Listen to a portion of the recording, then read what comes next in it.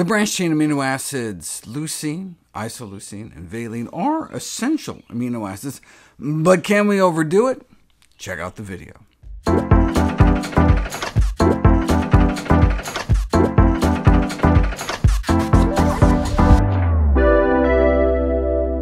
Diabetes isn't just about the amount of body fat, but the distribution of body fat. Um, check out these cross-sections of two different thighs from two different patients. This is an MRI, so the fat shows up as white, and the black is the thigh muscle.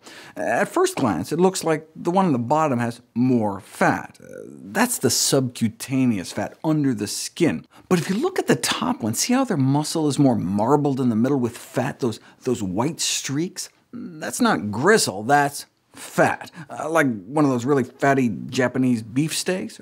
That's the fat infiltrating into the muscle, colored in red there. The green is the fat between your muscles, and then the yellow is the fat outside of the muscles under the skin.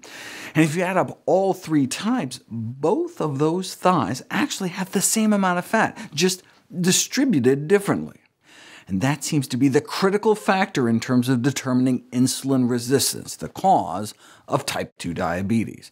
The subcutaneous adipose tissue, the, the fat right under the skin, was not associated with insulin resistance, so it's healthier to have this thigh. Is it possible a more plant-based diet also affects a more healthier distribution of fat? We didn't know until now, the effect of a vegetarian versus conventional diabetic diet on thigh fat distribution in subjects with type 2 diabetes. Researchers decided to put it to the test. 74 diabetics were randomly assigned to either follow a vegetarian diet or conventional diabetic diet. Both diets were calorie-restricted down to the same number of calories. The vegetarian diet was also egg-free and dairy limited to a max of a one serving of low-fat yogurt a day, and the reduction in the more benign subcutaneous fat was comparable, about the same in both groups. But the more dangerous fat, the fat lodged inside the muscle itself, was reduced only in response to the more plant-based diet. So even on the same number of calories, there can be a healthier weight loss on a more plant-based diet. Those eating strictly plant-based also have lower levels of fat stuck inside the individual muscle fibers themselves, what's called intramyocellular lipid, which may help explain why vegans in particular are often found to have the lowest odds of diabetes.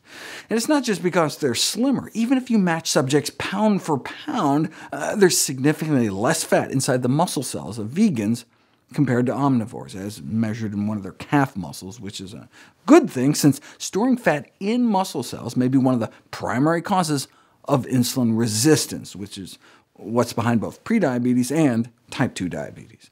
Whereas if you put someone on a high-fat diet, in just a single week the fat in their muscle cells shoots up 54%, and go on a high-protein diet, and you may undermine one of the principal benefits of weight loss, eliminating the weight loss-induced improvement in insulin action, the improvement in insulin resistance.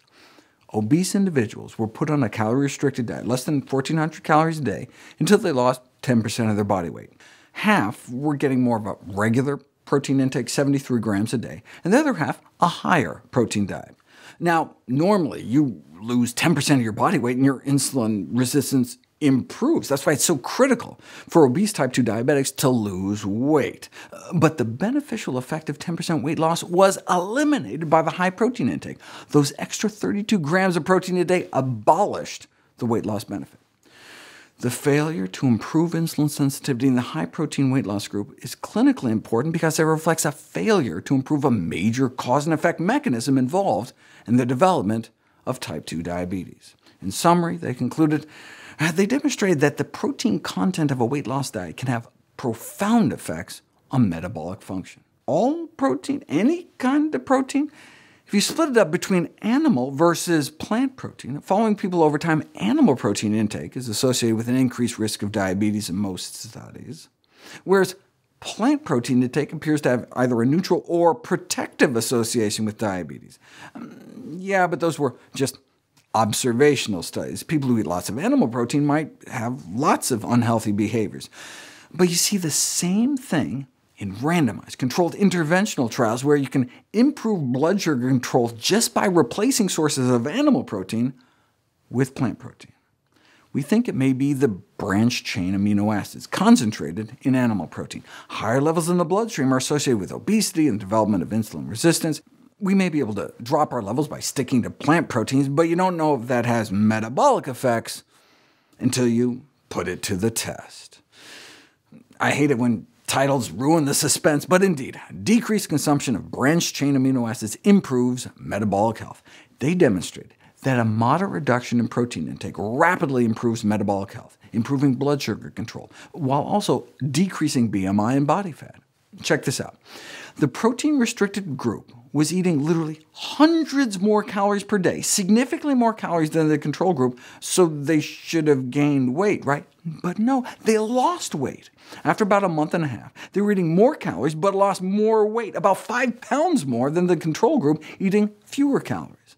And this protein restriction they were just having people eat the recommended amount of protein a day. Uh, so that's about 56 grams a day. So they should have just called that the normal protein group, or, or, or the, the recommended protein group, and the group that was eating more typical American protein levels, and suffering because of it, the excess protein group.